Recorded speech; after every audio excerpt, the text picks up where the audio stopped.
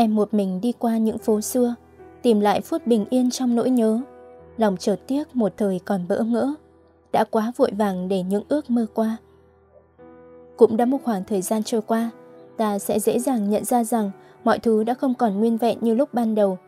Yêu thương rồi cũng phai nhạt, những điều tưởng chừng không thể tan biến, rồi cũng bị cỗ máy thời gian vùi lấp theo từng vòng xe mà nó đi qua.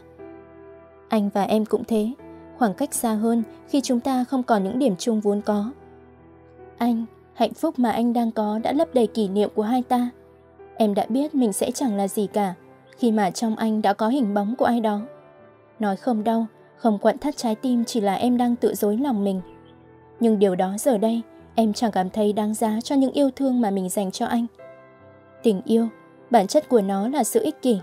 Em cũng không hờn trách vì những lựa chọn của riêng anh. Có lẽ như thế sẽ tốt cho cả hai. Tốt cho em khi nhận ra hiện thực không như mình nghĩ. Tốt cho anh khi tìm thấy thứ mình cần. Em đã không còn là cô bé ngày xưa, yêu thương và chờ đợi. Tình yêu của em cũng không còn mạnh mẽ như bản chất vốn có. Em đã thôi không còn chờ đợi tin nhắn hỏi thăm, không còn thấy nhớ hình bóng ấy. Đã thôi không nhìn màn hình chờ đợi cuộc gọi từ anh. Bởi em biết, giờ đây anh đang vui bên hạnh phúc mới, thứ hạnh phúc xa tầm tay với em. Sự chọn lựa trong cuộc sống là điều tất yếu, có khi lựa chọn mang đến cho chúng ta thành quả, niềm vui và hạnh phúc, nhưng lắm lúc trả giá lại là đau khổ và thử thách. Thế nhưng đến cuối cùng, giá trị của bản thân không nằm ở điều ta lựa chọn mà là cách chúng ta đối mặt với nó. Dũng cảm vượt qua chướng ngại đem lại cho bản thân mình những trải nghiệm quý giá để trưởng thành hơn. Phải chăng, chọn yêu anh, em đã cho mình trải nghiệm. Biết thế nào là cảm giác yêu, biết thế nào là nhớ thương, hờn giận. Và biết được rằng tình yêu cũng có vị mặn đắng chua cay. Giờ anh đã là quá khứ của em. Với em, anh là một phần của ký ức ngày xưa mà em muốn quên đi. Khi tình yêu tìm đến, em cứ tưởng nó ở ngay đó, đã rất gần và rất ngọt. Nhưng nỗi đau ở đây, bây giờ, ngay phía ngực trái của em, cũng rất đắng và rất cay. Em đã từng đặt anh là tất cả, là lẽ sống, niềm tin. Rất muốn, đã từng như thế, muốn một lần nắm lấy đôi bàn tay ấy, sẽ đi cùng anh đến hết một con đường. Những đến và đi, những nhớ và quên, những đánh mất và tìm lại. Rồi em cũng nhận ra rằng yêu thương không phải là thứ có thể đong đầy. Không phải cứ chờ mong là nhận được. Dù có chân thành, sống thật với trái tim thì chưa chắc hạnh phúc sẽ mỉm cười với mình. Nỗi nhớ có lẽ là một bản năng, nhưng để quên đi, người ta cần phải học. Chẳng dễ dàng gì để xóa đi hình bóng của anh, người đã in hẳn sâu trong trái tim em. Người đã từng cho em nếm trải những hương vị của tình yêu đầu. Chẳng dễ dàng gì để chối bỏ chính mình với tình yêu ngày hôm qua, đã như là một lẽ sống. Chẳng dễ dàng gì để lãng quên. Em đã từng nhiều lần dằn vặt bản thân. Sẽ thế nào khi nỗi nhớ anh đã ngấm vào mỗi giây em thở? Em phải làm sao? Sẽ thế nào khi những thói quen yêu thương ngày qua đã trở thành cuộc sống? Em phải làm sao? Sẽ thế nào khi cố quên, lòng lại càng nhớ? Ai sẽ dạy em cách đánh vần hai chữ lãng quên khi anh là người đã dạy em chữ thương và nhớ? Ai sẽ dạy cho trái tim em hai chữ bình yên khi tổn thương đã theo bước chân anh đến từ những ngày đầu tiên? Sẽ quá khó để quên và sẽ quá đớn đau để gạt bỏ nước mắt khi chọn vứt bỏ một tình yêu đã có. Có sự rời bỏ nào là trọn vẹn cho người ở lại và có sự ra đi nào lại nhẹ lòng cho người ở xa. Em từng rất sợ cái ngày em không còn buồn vì anh, không nhớ anh, không nghĩ gì về anh. Điều đó còn đáng sợ hơn cả những tổn thương em đã đi qua. Ngày em cố níu lòng mình phải nhớ về anh là lúc em nhận ra khoảng cách giữa đôi ta đã đi quá xa. Em bây giờ đã quen với cuộc sống không hề có anh, nghĩa là mỗi sáng thức dậy không nghĩ về anh. Chuyện vui không muốn kể cùng anh, nỗi buồn cũng giữ cho riêng mình. Lâu rồi em mặc kệ cảm xúc, mặc kệ hình ảnh anh chạy qua đầu trôi tuột đi. Như cách anh không hề níu giữ em. Thế giới rộng lớn và em biết, nếu mình lỡ chân lạc đường, anh cũng chẳng tìm em đâu. Em đã từng có một tham vọng rất lớn lao đó anh à. Em mong anh dành cho em một ngày, chỉ một ngày thôi. Mình bên cạnh nhau, trốn khỏi những thứ giả dối thường ngày, khỏi những điều làm em mệt mỏi. Mình sống vì nhau một ngày thôi, để em biết rằng mình đang được yêu thương. Em cũng chỉ là một cô gái, vẫn có những giận hờn, ghen tuông.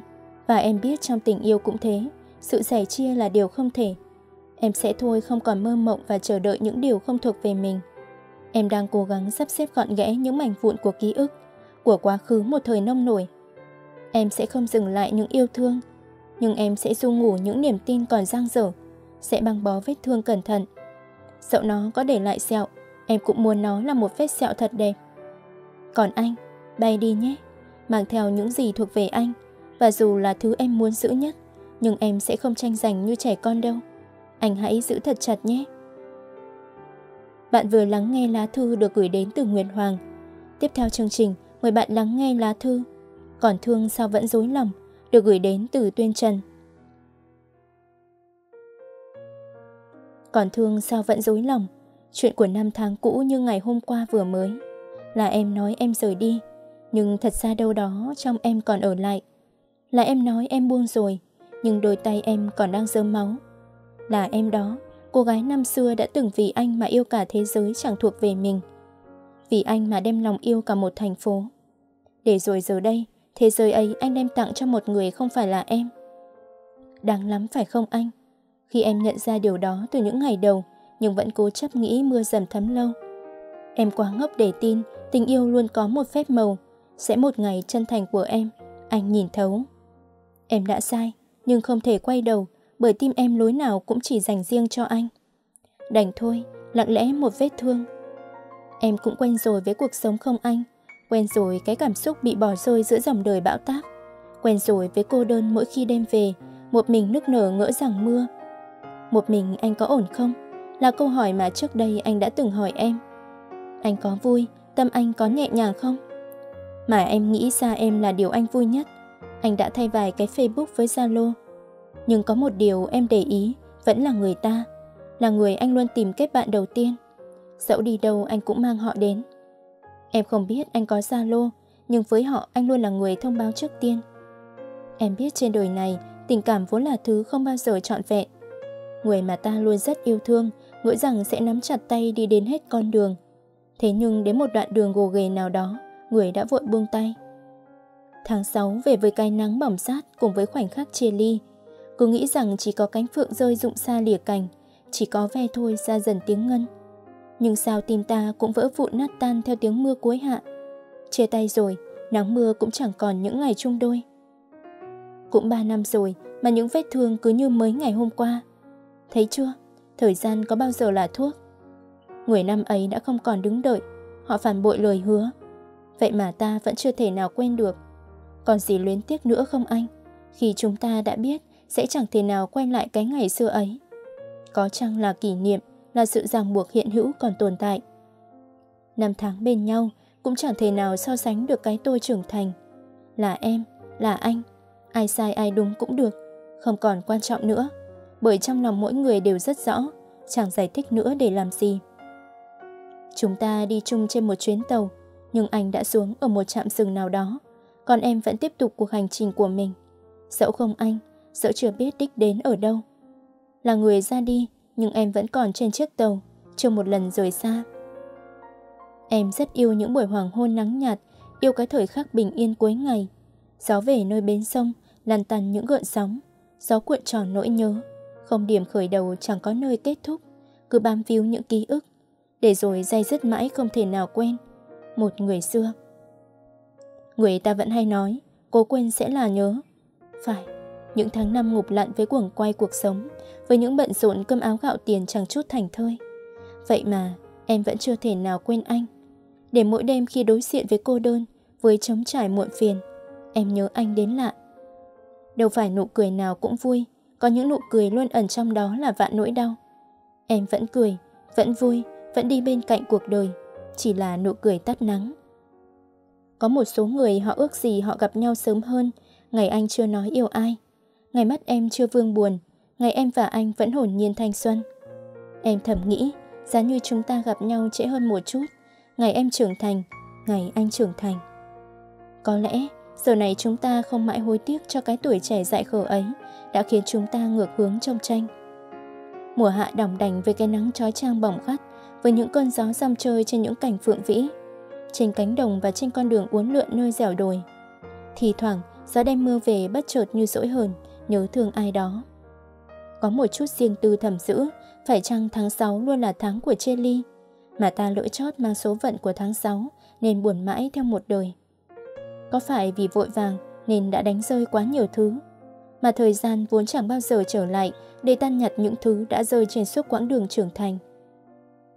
Cơn mưa rào cuối hạ, chẳng hẹn trước mà lưng chừng trời chút xuống trần, những giọt mưa nghiêng ngả nặng hạt. Mưa ngang qua lưng chừng cảm xúc không tên, nhìn đóa hoa bằng lăng trôi theo dòng nước, tiếng mưa vẫn đều nhịp trên mái ngói phủ màu rêu. Mọi thứ dường như quen thuộc, vậy mà sao hôm nay tâm trạng cứ như ai đó cứa vào tim đau buốt.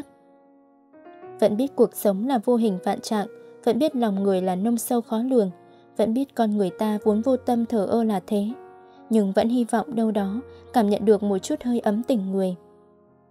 Cơn gió vô tình mang những bụi mưa bay vào mặt, lạnh lạnh nhưng cũng nóng ấm. Giọt nước mắt tràn mi, một nỗi buồn lắng động, một cuộc đời mờ nhạt trong cơn mưa chiều cuối hạ. Buồn lắm, cái cảm giác từng là tất cả, nhưng giờ chẳng là gì cả. Đau lắm, cái cảm xúc hụt hẫng bởi kỷ niệm nào cũng chung đôi, mà bây giờ lại cô đơn trước mưa. Mây tan, mưa tạnh, nắng lưng chừng, ta tranh vênh với nhớ thương. Đã một năm trôi qua, với bao điều mới cũ, người đi cũng đã xa rồi, mà lòng cứ dưng dưng nhớ những ngày bên nhau. Nhớ thương luyến tiếc nữa làm gì? Kỷ niệm xưa người vứt bỏ, tôi ngu khờ nhặt về cất giữ như báu vật. Dẫu biết đường đời còn dài rộng, nhưng cũng vô thưởng lắm. Đừng mãi để quá khứ giày vò tâm trí. Hãy cố gắng bước về phía trước, dẫu một mình, dẫu không anh. Sống ở đời cũng có người khôn ngoan kẻ dại khờ. Em làm sao biết được trái tim em sao cứ mãi dại khờ, lẹo đẽo theo sau một người, để rồi đau, rồi tổn thương, rồi trách dại trách khôn. Chiều nay, gió mưa ngang qua, nỗi nhớ lại tìm về. Chợt nhận ra em vẫn còn yêu anh, dù bây giờ chúng ta đã là hai người dưng, là hai bến bờ xa lạ.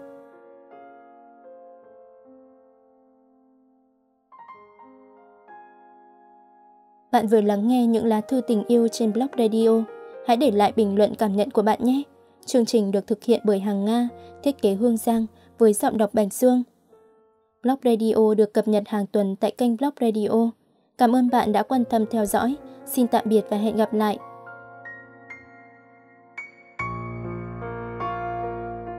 Nếu yêu thích Blog Radio, các bạn đừng quên nhấn like, share cũng như để lại bình luận cảm nhận của mình nhé. Mời bạn gửi những sáng tác tâm sự của mình đến chương trình bằng cách truy cập vào website blogradio.vn, đăng nhập và gửi bài hoặc gửi tới địa chỉ email blogradio.vnplus.vn. Các chương trình sẽ được cập nhật và phát tại chuyên trang cũng như kênh youtube Blog Radio. Đừng quên nhấn đăng ký và nhận thông báo để không bỏ lỡ những video mới nhất nhé. Blog Radio phát thanh xúc cảm của bạn.